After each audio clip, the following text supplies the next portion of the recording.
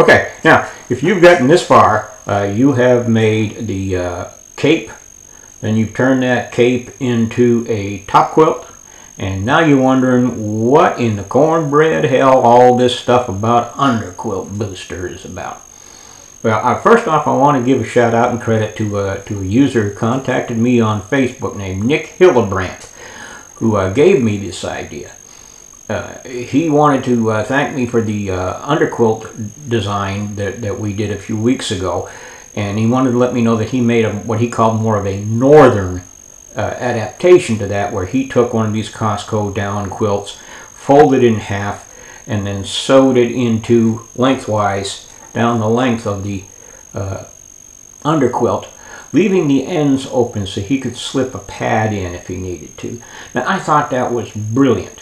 And uh, as I was already working on the design of the top quilt, uh, the wearable top quilt, I said, okay, a few more snaps on this thing, and we can snap it into an underquilt and make a more make it more adaptable and make it so that it can get down to 40 degrees. We're gonna we're gonna say 40 degrees, it might be a little bit lower lower than that.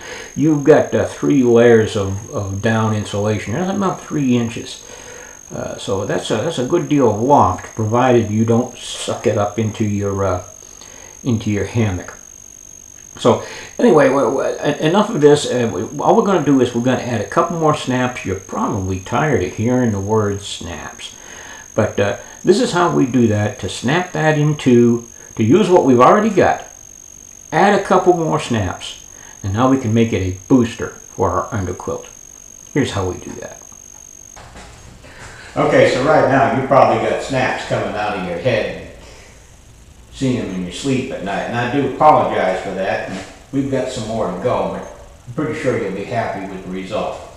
Now what we've got is we've got this laid out here with all your top quilt snaps installed. Over here you've got a bunch of female snaps. Over here we've got a bunch of male snaps. These snaps have the connector facing up. This is what the connector is facing down. And along this edge, You've got the button side of the ones that you put on for your cape. Okay? Now what we're going to do is, is we're going to fold this.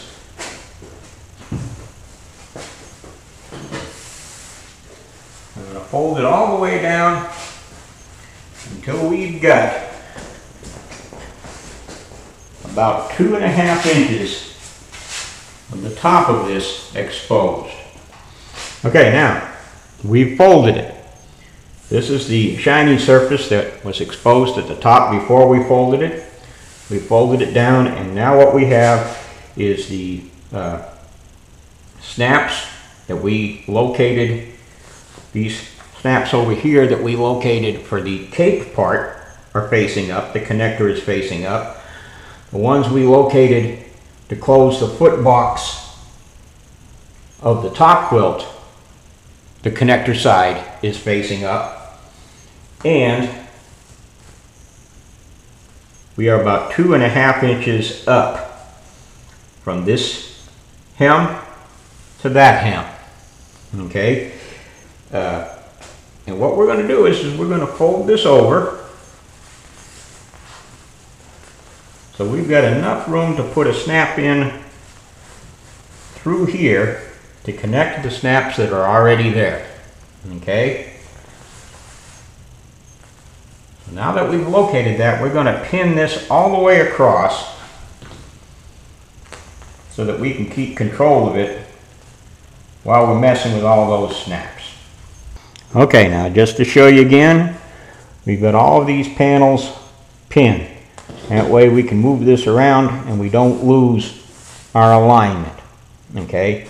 They're pinned all the way across. And our next step, I'm going to go in the gear bunker and do this, is just to fold this over and place a snap everywhere you've already got a snap so that we can close this thing. Now the reason why we do that is this is going to be laid in your under quilt in this direction.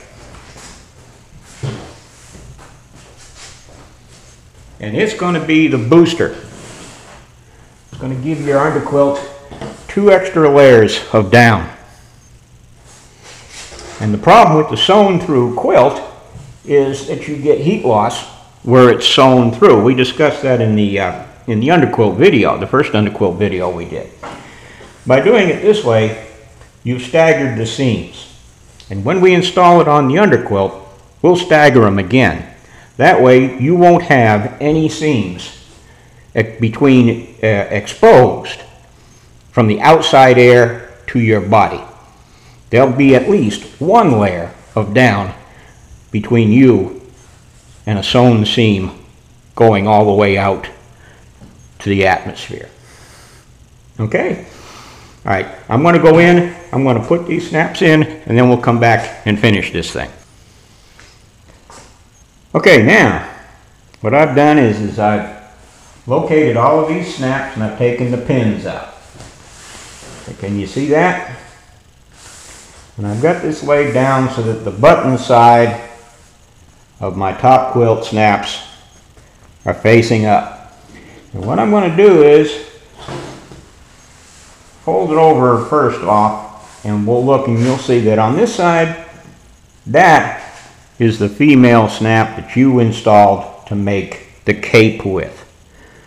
What we're going to do is, is we're going to add in two more female snaps. Okay? And as a side benefit, those snaps will be enable you to uh, uh, change the way your cape hangs. Okay? We're going to use these to snap into the underquilt, but it will also be used so that you can change the way your cape hangs. We're going to locate a snap here about an inch from this folded edge. And we're going to locate another one over here from an inch, uh, about an inch from this folded edge. And then one more here in the uh, same general location as this snap is, about one inch from the uh, uh, hem at the side and one inch from this seam. Okay, we're going to do the same at the other end. On this side, we're going to put female snaps. And on this side, we're going to put male snaps. Okay, you with me so far? That will be underneath. You're going to open this up and install those snaps with the button side here.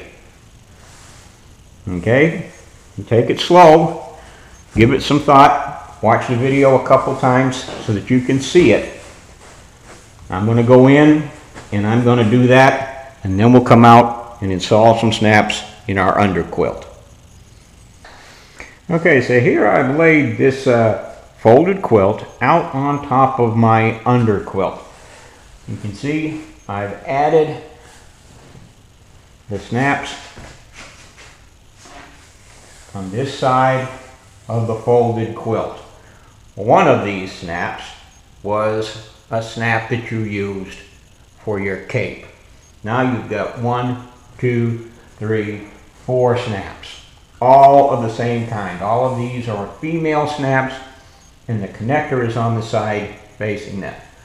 Now what you want to do is you want to fold it down onto your, or lay it down onto your top quilt and then lay it so that these seams are staggered again so that we don't get any cold air intrusion through these sewn seams.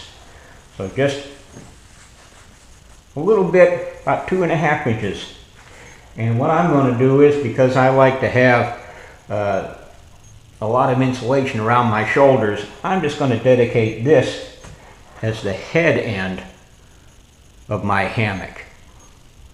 Okay, and I'm going to come in here, I'm going to lay this down, probably should pin it, and then come in and locate a snap where each one of these is. Okay, here I've got a female snap. I'm going to locate a male snap right there. The vise will be versa on the other end. Are we clear? Let's see how we do that. Be right back. Okay, so I'm just gonna fold this over, hold it down, then reach around, find out where it hits, poke me a hole.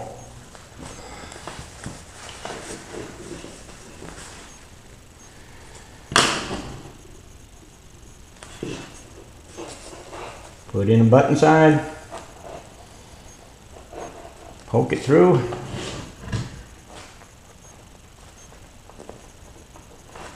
nail snap on that. And I curl this up a little bit because there's going to be a lot of it in there. You're going in a couple inches.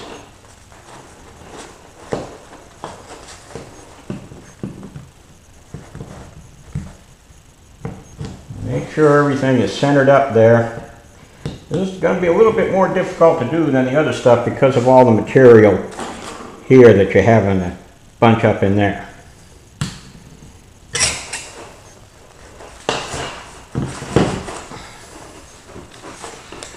There we go. Okay, now I just snap that and move on to the next one. Do this all the way around, all eight snaps. Okay, well, that's it, except uh, the county uh, set off an alarm. Uh, we got another rain event around here. We've been having a lot of rain events. Uh, uh, some severe weather, and uh, the little colonel decided she was going to take over the gear assembly area again and park her car inside. So uh, the only thing I'm going to mention to you is we're going to add just a couple more snaps to that along the sides of the uh, of the booster and the underquilt so that we can connect the sides. Right now the, the sides of that thing might be a little droopy, they might flop in. So just add in four more snaps, two on each side. Okay, to keep it so that when it goes up like this, it doesn't go like that. Okay, that's it. Uh, keep an eye out in the next uh, in the next couple of weeks. Uh, what we're going to do is we're going to build a uh, underquilt protector that should add another couple of degrees to this system, and a winter uh, sock. Okay. See you down the trail.